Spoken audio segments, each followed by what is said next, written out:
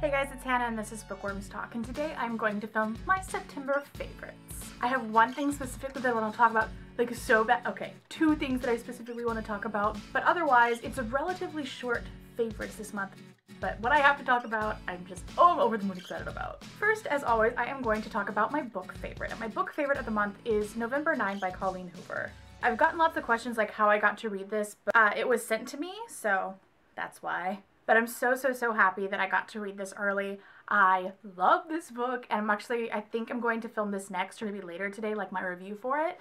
Um, my review for it I know has to wait until the book actually comes out, so it will be up in November. But I love this book. Uh, I can't really tell you anything about it other than like what the synopsis already says, but I can, I can say that this has such an interesting like plot and the concept of it is really interesting. And I haven't seen it in book form, anything like this. There's a movie that is slightly like the idea of it. It's definitely different. But like it reminded me, I'm like, no, don't do it. It happened badly in that movie, but then it didn't really go along with that at all. It was just like the initial concept, I guess. But I can't, I'm just blabbering. I'm sorry. I'm like teasing, but I really did want to talk about how, how much I love this and just let it be known that it's up there with Slammed. It's tied at Slammed for me. Do you guys know how much I love Slammed? A lot, so you should pre-order this. Next I'm going to talk about my favorite TV show, Netflixy favorite thing for the month. This isn't actually on Netflix, it's an HBO show, and so I watched it through Xfinity, but oh my god, this is the thing that I'm so excited about. Like, I'm excited about November 9, but True Detective. Oh my god, I think it's my new favorite show. Like, I, I thought about it for a while, and it's just so different and dark and very pessimistic and it's all I'm about now. The first season, I guess I should specify. The second season, I'm still trying to, you know, troop through. Troop through is not the right saying. Be a, be a trooper, a good camper, a, I don't know. The first season is what I want to talk about because that's what I love.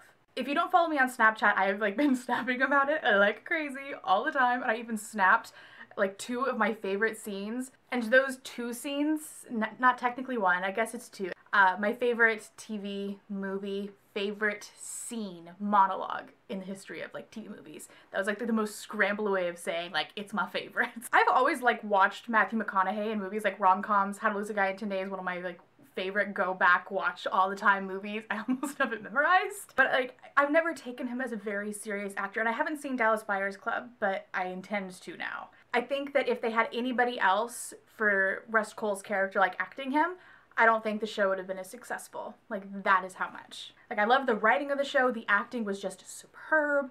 I cannot recommend it enough. But if you like happy shit, you're not you're probably not gonna like it. And uh, I guess I should specify True Detective makes it sound like true crime, detective work. And yeah, that is a center of it, but it's about the people. And man, I am having such a hard time explaining the show. Just please give it two episodes. Just two episodes. My favorite episode is episode five. I watched it probably five times. It is called uh, The Secret of All Fate, I want to say. The Secret Fate of All Life. I remembered it now. Yeah. It's just, it's brilliant. It's so brilliant. And I'm going to read you a little bit from it. It's really dark, kind of, I'm going to say this word wrong. Nihilistic? Nihilistic? I don't know how to say it. I've never actually heard it before, but I know of it. Uh, maybe it'll give you an idea of the writing of it, but even in my voice, like my reading voice, my serious poetry reading voice, it's not gonna do justice to how it was acted, and so it's just, it's so much better than I could ever make it sound. I'm gonna read a little. Death created time to grow the things that it would kill. You are reborn, but into the same life that you've always been born into. When you can't remember your lives, you can't change your lives. That is the terrible and secret fate of all life you are trapped by that nightmare you keep waking up into. I just, I love it. I've gone out and I've actually I've researched what uh, the writer for the show, Nick Pizzolatto, yeah, Pizzolatto, what he read while writing the TV show and stuff. And without spoiling, because I really do want everyone to watch it, uh, there are a lot of different like things brought in, like old mythologies, like the Yellow King and and Titaro, lots of stuff. And so I've looked up uh, this really like unknown philosopher called Thomas Ligotti, L-I-G-O-T-T-I. And I purchased one of his books and I'm loving it. And it's it's very just so Rust Cohle. It is so Rust Cohle. But all right, I'm done talking about that. I just, I love it so much. Highly, highly, highly recommend it. Now I'm going to talk about my random favorites. And one of my random ones is this candle from Bath & Body Works. This is one that I've gone back to for a long time. I really love the smell of eucalyptus. Uh, this is the Stress Relief Eucalyptus and Spearmint Scented Candle. Um, I've been sick off and on throughout the month and this just smells like really bright and energetic. Yeah, I don't know. I like to smell it when I'm sick. It doesn't remind me of Vicks VapoRub, but it's like comforting in the same way that like the Vicks VapoRub is. And speaking of Bath and Body Works, I'm going back to like old comforty smells. Um, I started using the Moonlight Path body lotion. This shit ain't moisturizing really, but it's what my mom always used. I don't know, it smells like childhood to me. It reminds me of driving to middle school with my mom and we would always go by Sonic and get sweet tea in the morning. That's what it reminds me of. So I don't know, I've been using this. I've been like, I don't know, smell is one of the strongest like memory triggers. And then there's this candle, which I bought like not that long ago. So that's why I'm not mentioning it, but it will be in next month's favorites, I can promise. Uh, it's the Target brand. It's White Citron. I can't put my finger on what it is that it smells like, but it reminds me of like Christmas and it kind of reminds me of my mom's old perfume and it reminds me of the way our house used to smell. I don't know. So memory lane, man, that's where I've been this past month. But yeah, so I've been really liking this. This next thing I'm about to show you, you can't judge me for it.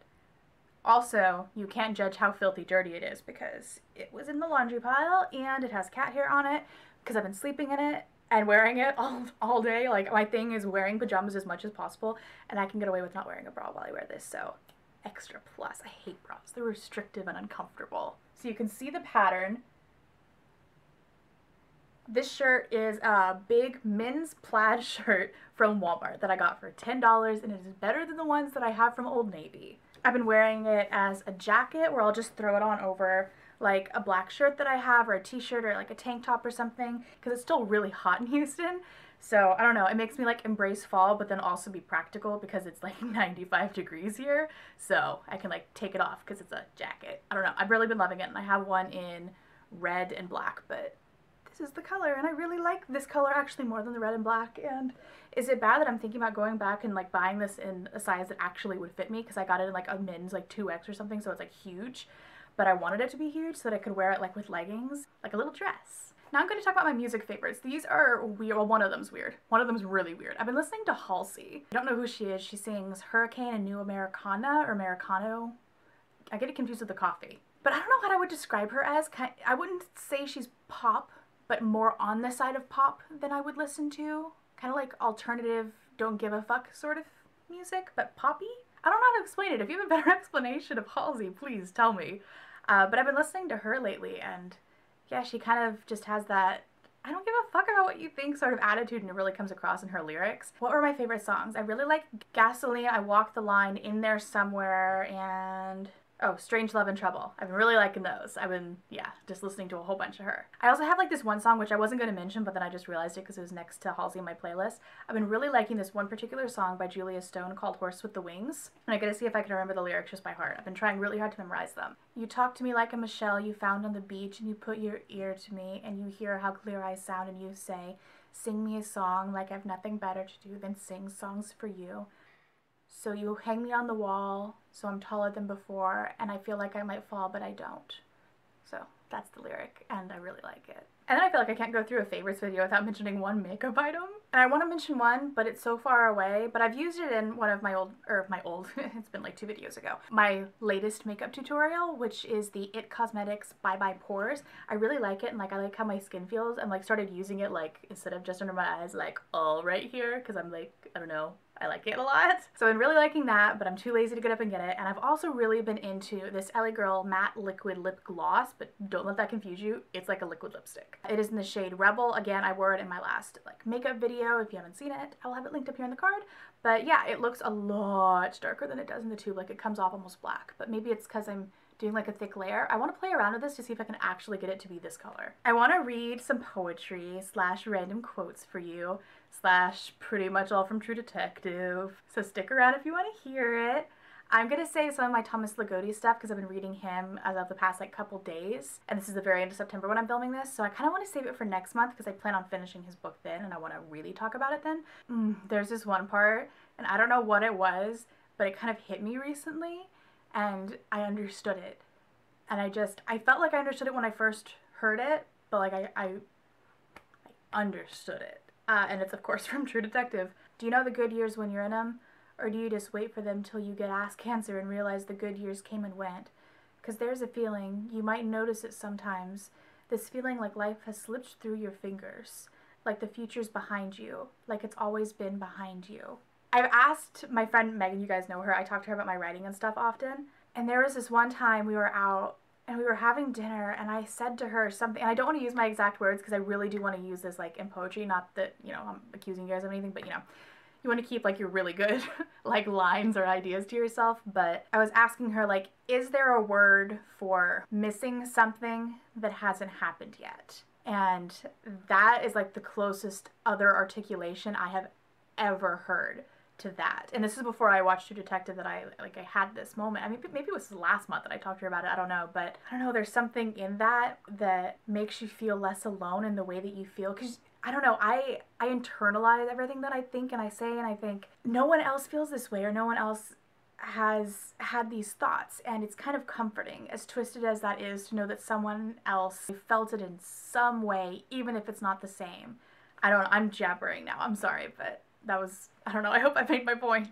I realized in trying to find one specific quote from True Detective that it kind of spoils things, and then the other one is reading an entire scene in which the context of the scene is important, and so it kind of doesn't have the same effect, so I don't want to do it. I don't want to read it anymore, so I'm going to read other stuff. I was reading Louise Gluck, Glick, Louise Glick from earlier in my English class. Where it was a really complicated class I'm like affect and aesthetics and figuration and stuff and but so I was reading her and I found a couple of her poems that I really did like so I'm going to read a couple lines for you. The silence is my companion now. I ask, of what did my soul die? And the silence answers, if your soul died, whose life are you living and when did you become that person? That's from Echoes. I always want to say Persephone or Personiphone, but I'm never sure. So Persephone, Personiphone, um, the Wanderer. They say there is a rift in the human soul which was not constructed to belong entirely to life. I didn't know what that means. I just think it's really beautifully said. This is from David Levithan, or Leviathan, Levithan. We always see our worst selves, our most vulnerable selves. We need someone else to get close enough to tell us what's wrong, someone we trust. So that is all I have in the way of quotes this month. I promise I will have like a whole bunch more next month. I'm really excited about it. I like I was like a, a whole bunch more. Like surprise! Boo! I'm, I'm really excited for Halloween. Do you see how much my brain just goes from here to here to here? I am a squirrel. I'm a squirrel. So I hope you guys enjoyed this video, and if you have any requests for other videos or book tags or tags in general that you would like to see me do, then please leave those down there in the comments. Breath, and I will see you guys later next time on Bookworms Talk. Bye. Oh my god, I talk so fast. Oh, pose. Pose.